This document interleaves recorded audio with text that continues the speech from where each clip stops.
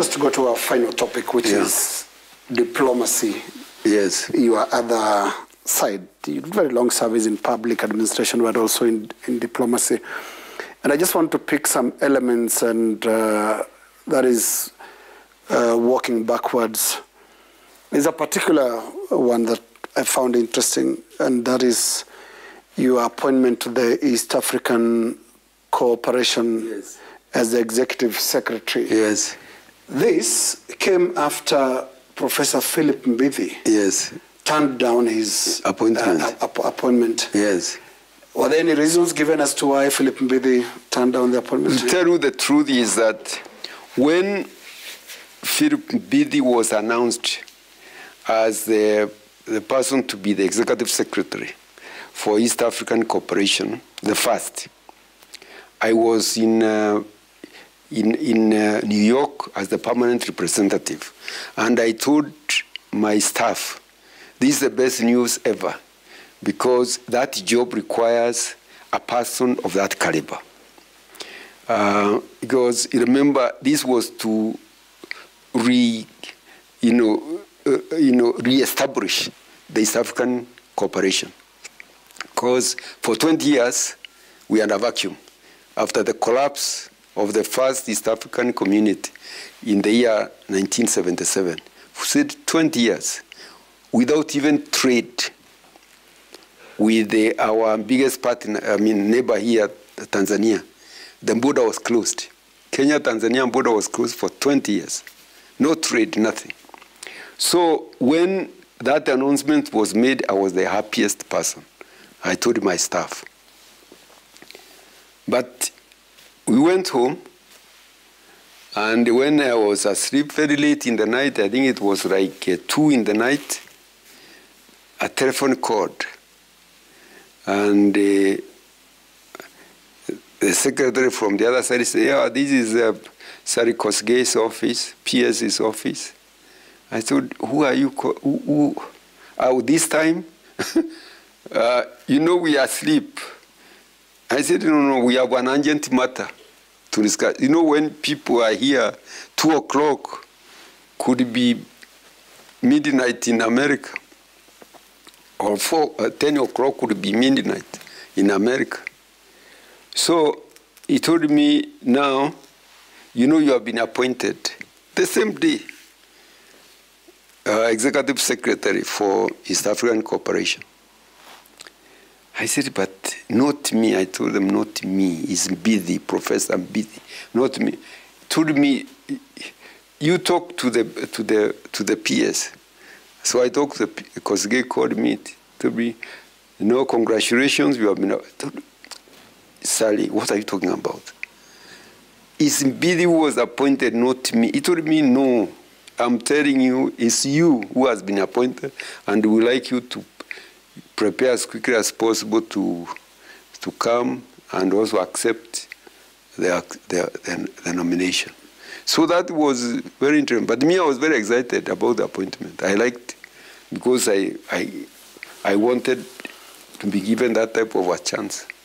Yes. And you arrive in Arusha, a town that has a 20 year air of distrust Yes. between Kenya, Tanzania, and Uganda. Where did you start? Actually, the town was in, even the town itself was dead, because before that, it was vibrant because of the East African community. But after community collapsed, the town really went down. But now it was being revived by the International Court on Rwanda genocide. So they had started, you know, there, there was quite a bit of money in the town, uh, you know, renting houses, what what not, and new business is coming up to cater for the international community which was in Arusha. So when I went there, uh, the first thing was to, to meet my two deputies. One was Ambassador Kazaura from, Uga, from Tanz, Tanzania.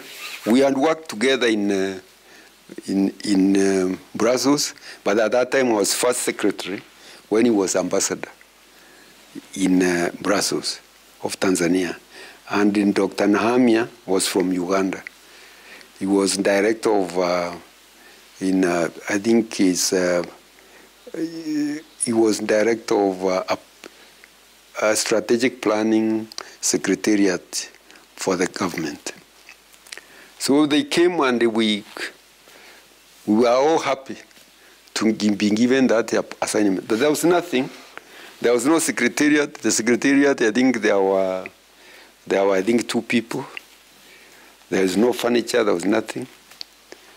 Uh, so we are told now to to start.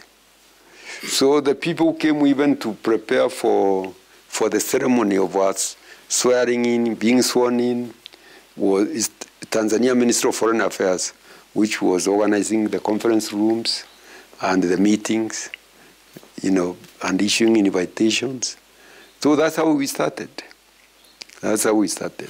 And you built on and uh, to all the way to the uh, stadium one afternoon when the East African community now yes. uh, uh, came back. Yes. How much work went into that, and what was the deal breaker? What was that that really uh, sorted out the 1977 problem?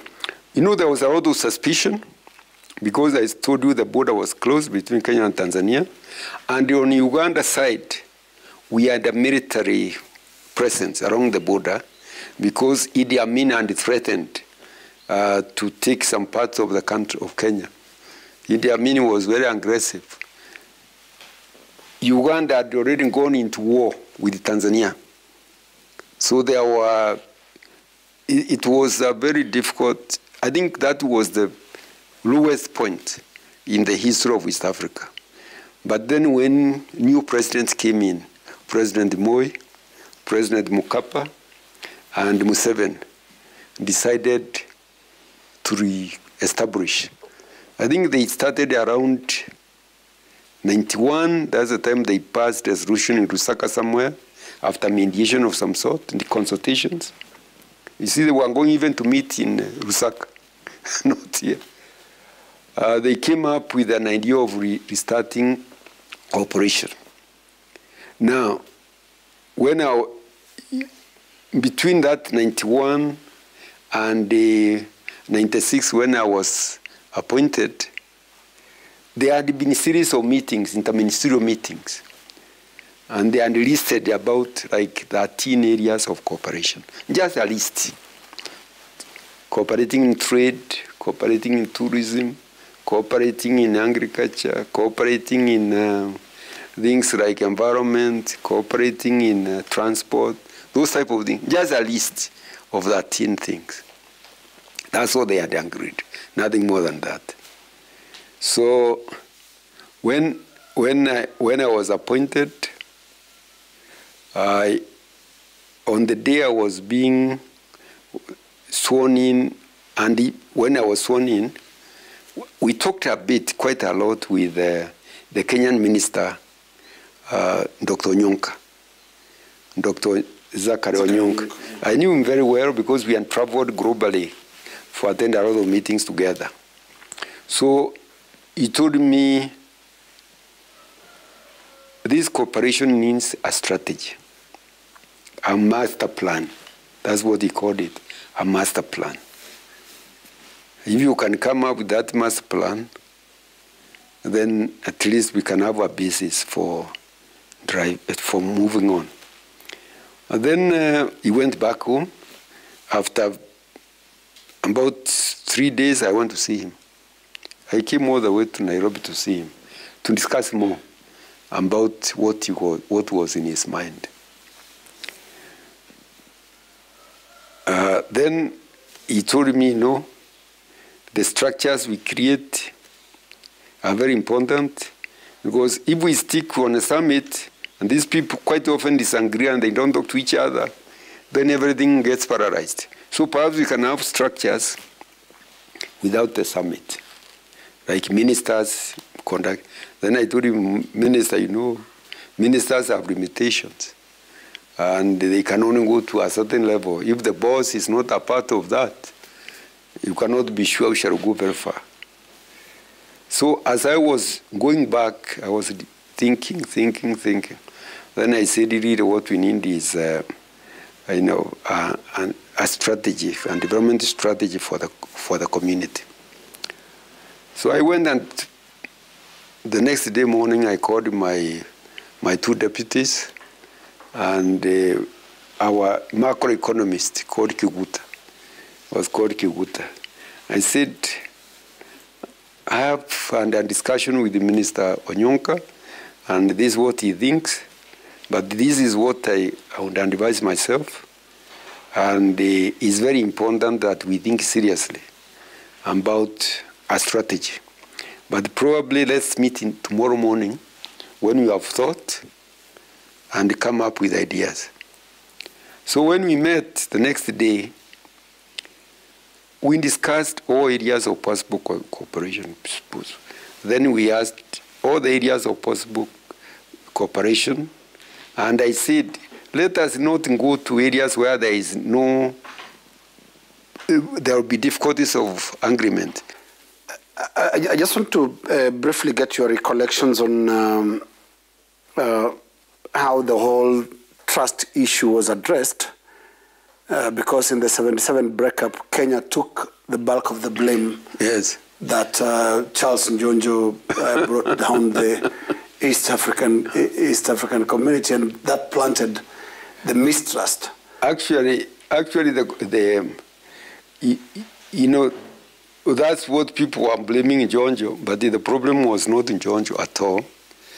Uh, the problems of the community started with, um, you know, the socialist socialist policy of Tanzania because they wanted to go in a certain way, socialist uh, types of uh, way, which was not very easily compatible, compatible with the, the, the programs for the community. Then in Uganda, they started Common Charter and Obote, which was also socialist.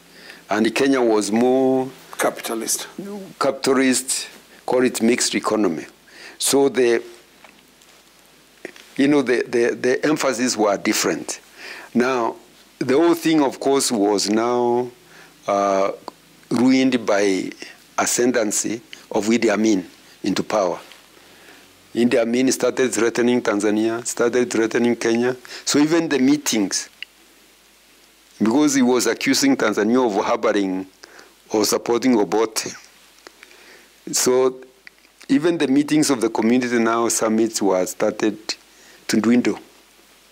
And even um, some of the some of the urgent matters like approval of budget and what were getting delayed. Now, what caused the collapse of the community, immediate collapse, was um, the you know the, the at one point Tanzania and their a big, a big meeting. He had invited guests from all over to come and, uh, and uh, see, I think, declaration the of Arusha uh, Declaration. The Arusha Declaration. Yes. Then on that, that, that, at that time, National Bank of Kenya grounded Kenya Airways because it was not paying the loans that they had borrowed from National Bank to purchase aircraft. So they took hold of the aircraft. Uh, Tanzania felt it was like Kenya was fighting them. So they decided now to close the border. And that now caused a lot of Ambassador, problems. which, which version is true? Because you have, you're giving us the National Bank version. Yes. But there is the version of uh, Charles Njonjo and Njoroge Mungai Yes. grounding the Kenya Airways uh, uh, flights. Well, that's what they say. That's what they, what they say. But the fact is that the bank loans were not being paid. And if the bank loans are not being paid, then the bank resorts to its uh, to the security. So was it a co- coincidence that this happened at the same time? No, I'm telling you, the politics were negative at that time. Yeah. Then everybody was pointing fingers. You know, there were lots of other things that were taking place at that time. Even countries and stopped releasing their their earnings from the East African community agencies. You know, like the customs. Comes, customs headquarters was Kenya. Customs and harbors were in Kenya. So the earnings of, the, of, of those agencies were supposed to be sent to the headquarters and then redistributed using a certain formula. So everybody now started holding his own, his own earnings. Uh, the other thing is, uh, I told you now Tanzania has crossed the border. It's threatened by crossing the border. So what, what do we expect people to do? The other thing was this issue of uh, the instability in Uganda, where Tanzania was being accused of destabilizing Uganda by Idi Amin. So, you know, this, what, what Njonjo said, that there is no need of nursing something which is dying. That's, that was the issue. We cannot keep on babysitting uh, a baby who is not alive. Yeah, and, yes. Kenya is accused of committing the initial acts of aggression. Uh, one of them was the uh, apparently the Prime Minister of China, Zhou Enlai, yes. could not be allowed to make a stopover in JKIA. Where uh, coming from Tanzania? That, yeah, yes, and, and that's where. But that was not the immediate cause. The immediate cause was really the the the grounding of the airways. Mm. Tanzania was complaining about some of those things, but the issue was, um, you know, those were what we call the symptoms of the tensions which were developing between the three countries. Actually, the country which left holding even the community for quite some time was Kenya. Uh, Ambassador, I'm most certain that uh, some of Kenyans watching you right now would want to ask what you your thoughts would be on the balance between public service and the elected arm of uh, government because there are a lot of concerns about how that is being carried out currently, uh, where basically elected and appointed is coming in to take over from what used to be traditional public service? You know, that would be a major mistake um, if, if you dilute the public service. You know, elected leaders have their role. Public service at its role. And the two roles are very distinct elected leaders are leading the country to develop. They are leading the country to greater peace. They are leading the country to more cooperation or more competitiveness. That is broad. That is what you call is wasteful. They have set targets. But how to go there? The strategy of achieving those huge, big objectives,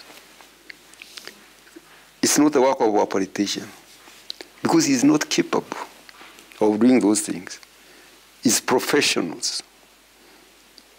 It is the, is the engineers, is the political scientists, is the lawyers in the, in the public service, is the doctors, is the, you know, is the, is, is, is, is the industries, people in the industry, people in the private sector, people, those are the, people, the doers, politicians and dreamers. And those dreams are very important. So how does it make you feel uh, with what you just described? Uh, how does it make you feel, Ambassador, when you see um, former member of parliament losing elections, then getting appointed a principal secretary, which is what you used to call permanent secretary? Well, there are some who are capable, uh, who are qualified to do that because, you know, the, those people become permanent secretaries or who become politicians. Some of them are professionals of high standing. Some of them have a lot of experiences in the private sector. Some have uh, international experience and become members of parliament. So I'm not saying they are not capable.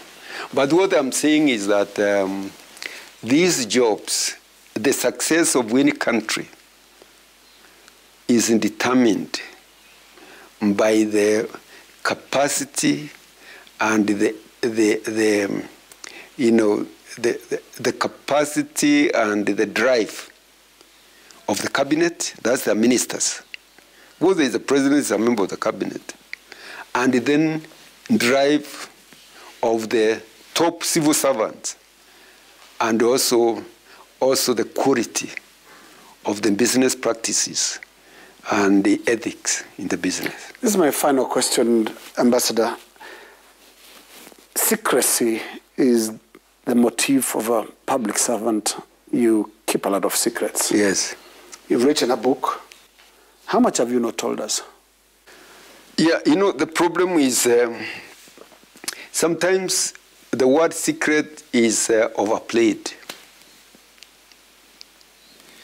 You don't keep information which is useful to the people, hidden and, uh, but any information which is useful to the people should be given out. So have you told us as much as you can on moving the horizon? Oh, I don't think I've left much. I don't know whether I've left much. You know what you normally do is, uh, you know, the what is sensitive is probably to identify weaknesses and uh, sometimes problems uh, with certain people. You know, sometimes people get about irritated about it. But we, we, we don't dwell with that. We dwell with the positive drive for the country. Thank you, Ambassador.